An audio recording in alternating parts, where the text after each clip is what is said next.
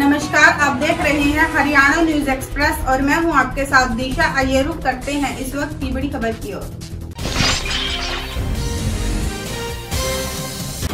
भाजपा की सोनीपत में महारा Haryana non stop Haryana, Jan Ashirwad rally में भाजपा से हिसाब मांगने वालों पर गरजते हुए मुख्यमंत्री नायब सिंह सैनी ने कहा कि अभी तो कांग्रेस वेंटिलेटर पर है। अगर मैंने 10 वर्षों का पूरा हिसाब दे दिया तो कांग्रेस आईसीयू में चली जाएगी। नायब सिंह सैनी ने कहा कि बड़ा अचरज होता है कि लोगों को झूठे सब्ज बाग दिखाकर वोट बटोरने वाले हमारा हिसाब मांग रहे हैं। शायराना अंदाज में बोलते हुए मुख्यमंत्री नायब सिंह सैनी ने कहा कि दिल में कसक है, चेहरे पर नकाब लिए फिरते हैं। जिनके खुद के खाते खराब है वो हमारा हिसाब लिए फिरते हैं।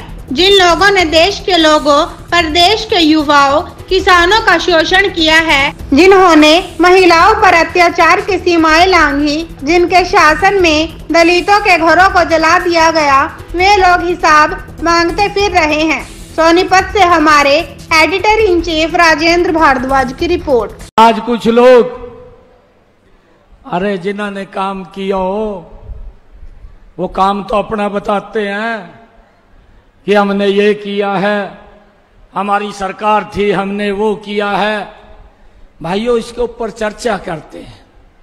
लोगों को बताते हैं, हम ये करेंगे, हमारी नीति ये है परंतु भाइयों, किस प्रकार के लोग हैं?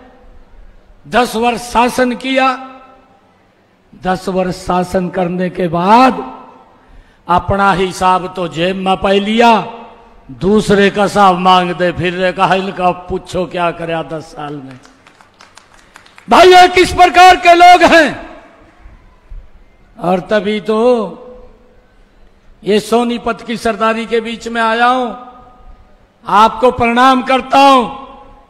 ऐसे लोगों को आपने रोहतक का रास्ता दिखाने का काम किया भाइयों।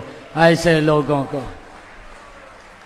जो यहाँ पर आए थे सजा भाग दिखाने के लिए आए थे और आकर के झूठ बोल करके वोटे ले जाते थे परंतु लोग देखते रहते थे कोई काम नहीं हो, होता था।